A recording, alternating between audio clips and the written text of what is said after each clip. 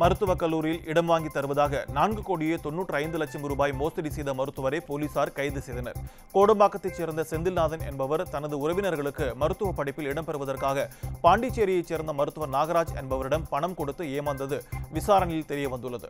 இது தொடர்பாக காவல் ஆணையர் ஏ கே விஸ்வநாதன் உத்தரவின் பேரில் மருத்துவர் நாகராஜ் கைது செய்யப்பட்டார். ஈரோடு அருகே பயணிகளை ஏற்றிச் சென்ற ஆட்டோ கவிழ்ந்து ஐந்து பேர் படுகாயமடைந்தனர்.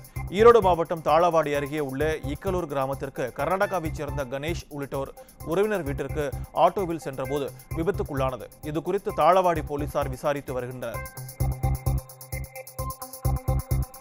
திருவாரூர் அருகே விஷ வண்டுகள் தாக்கியதில் முப்பதுக்கும் மேற்பட்டோர் காயமடைந்தனர். திருவாரூர் அடுத்துள்ள செம்மங்குடி கிராமத்தில் சமீபத்தில் இருந்த ஒருவரின் கருமாதி சடங்கின் போது கதண்டு எனப்படும் விஷ வண்டுகள் பறந்து வந்து அங்கிருந்தவர்களை கொட்டியது. இதில் காயமடைந்த முப்பதுக்கும் மேற்பட்டோர் மருத்துவமனையில் சேர்க்கப்பட்டனர். இப்பகுதியில் விஷ வண்டுகளை அழிக்க வேண்டும் என்று பொதுமக்கள் கோரிக்கை விடுத்துள்ளனர். தேனி மாவட்டம் சின்னமனூர் அருகே நீரில் மூழ்கி கல்லூரி மாணவர் பலியான சம்பவம் அப்பகுதியில் சோகத்தை ஏற்படுத்தியுள்ளது.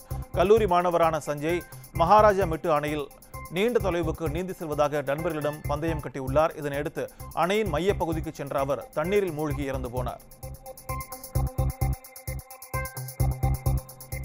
சென்னை சோழிங்கநல்லூர் அருகே தனியார் கல்லூரி மாணவர் கல்குவாரியில் குளிக்கும்போது தண்ணீரில் மூழ்கி மரணமடைந்தார். ஆந்திராவைச் சேர்ந்த செல்லப்பா என்ற மாணவர் தனது நண்பர்களுடன் மேடவாக்கம் அடுத்துள்ள ஒட்டியம்பாக்கம் கல்குவாரியில் குளிக்க சென்றுள்ளார்.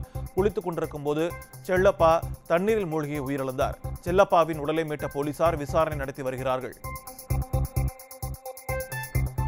சென்னையில் சிறுமியை கடத்திச் சென்ற ஆந்திர வாலிபர் கைது செய்யப்பட்டதில் போக் போக்சோ சட்டத்தில் கைது செய்யப்பட்டார். சென்னை புளியந்தோப்பைச் சேர்ந்த கூலி தொழிலாளி ஒருவர் தனது பதினான்கு வயது மகளை காணவில்லை என்று கடந்த எட்டாம் தேதி புகார் கொடுத்திருந்தார்.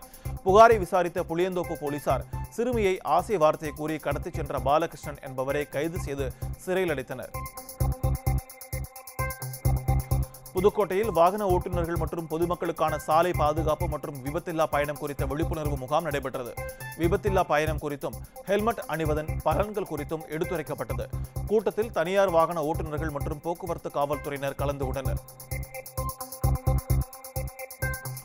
வேலூர் மாவட்டம் கீழ் விசாரம் தனியாருக்கு சொந்தமான பிடி கம்பெனியில் திடீரென்று தீ விபத்து ஏற்பட்டது. சாதிக் பாட்ஷா என்பவருக்கு சொந்தமான பிடி கம்பெனியில் பற்றிய தீயை தீயணைப்பு வீரர்கள் இரண்டு மணி நேரம் போராடி அணைத்தனர். இதில் நாற்பத்தெட்டு டன் அளவுள்ள பீடி இலைகள் மற்றும் மூலப்பொருட்கள் தீயில் கருகின.